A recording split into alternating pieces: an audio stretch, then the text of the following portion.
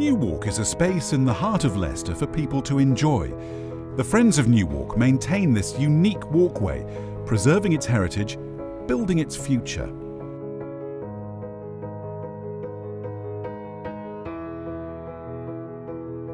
Right, my name's James Bowie. I'm a trustee of Friends of New Walk, which is the organisation making this film. We like to work with the City Council and look after New Walk, which is a famous pedestrian walkway. Uh, originally uh, opened in uh, nearly uh, just over 200 years ago. And I know it very well because my family have lived here for 80 years, and this is our family hotel, the Belmont. And since it's jolly cold out here, perhaps we'll go inside in a minute or two. The route of New Walk follows the old Roman road of the Via Devana.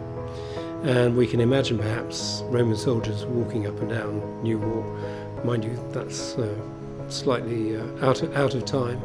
Uh, there are a number of beautiful spots along New Walk, of course, including behind us the Oval and uh, as you go walk down New Walk you get to De Square and then to Museum Square. As a child I can remember playing on New Walk and playing round the Oval which has these lovely railings and we weren't allowed in in those days, it was all firmly locked up. But these days the Oval is open and people can go and enjoy it and indeed when we have weddings at the hotel we use that quite a lot for external photographs of brides and their grooms happily enjoying the sunshine and beautiful New Walk surroundings. The thing the Friends do is to make sure that they liaise with the tree officer of the city and replace trees as they die. Because regrettably, all the original trees are dying at the same time. Okay. Which is, you know, you put them in 200 years ago and they all die in about 200 years' time, which is a shame. But you know, here's one. There are iron railings all the way up New Walk. Most of them were taken away in the Second World War. They were going to make Spitfires out of them. Okay? The trouble was that cast iron Spitfires don't fly. So by the time they'd taken all the railings down, they found out they couldn't make Spitfires out of them because they didn't fly. You had to make it something like aluminium.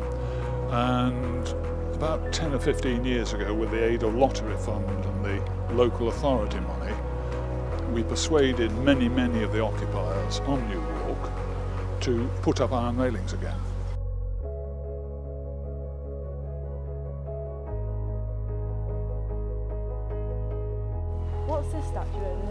That is Robert Hall.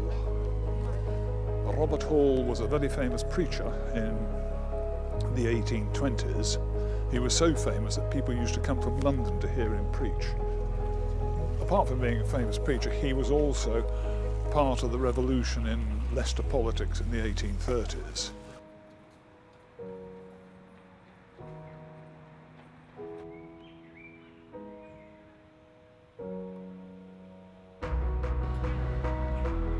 New Walk is a living, breathing thoroughfare where the people of Leicester and their visitors find tranquility and beauty.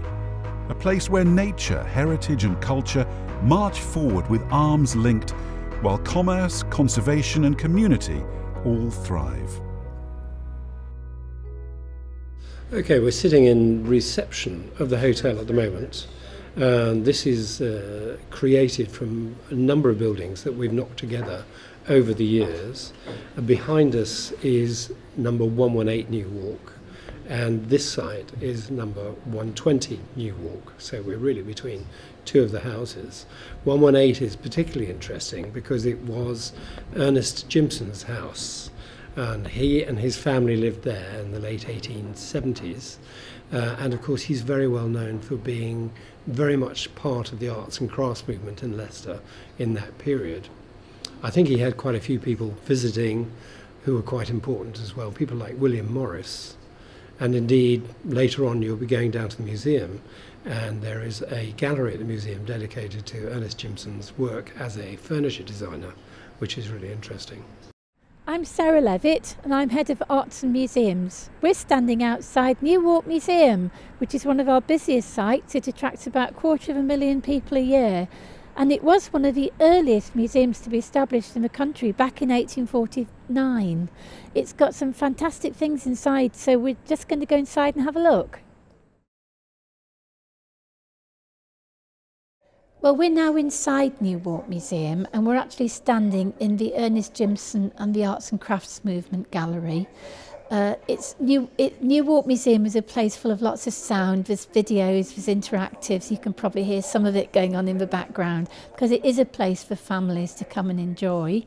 Uh, but particularly this gallery is important and I'm glad that we're here because it shows you much more about Ernest Gimson who as we've seen lived on New Walk he designed a house at the top of New Walk but he was one of the founding fathers of the arts and crafts movement in this country Later on this year, the National Trust will be opening Stoneywell Cottage just outside Leicester, uh, which is going to be a fabulous place to come and visit as well. There's lots of other things that are very popular in New Walk Museum. We've got a fantastic dinosaur collection, including the Rutland dinosaur, which is a huge proper dinosaur. We've got the German Expressionist art collection. We've got the collection of Picasso's ceramics given by Lord Attenborough. Uh, we've got a lovely art collection. And of course, there's the Egyptian mummies that are always really popular. The Friends of New Walk is a voluntary association We've achieved a great deal over the years and have a responsibility to work with partners and stakeholders to ensure this wonderful walk continues to play a vital role in the future of Leicester. Leicester City Council are great supporters of New Walk, providing funding and helping maintain standards. One Sunday morning in late 2015, the council buildings at the lower end of New Walk were demolished.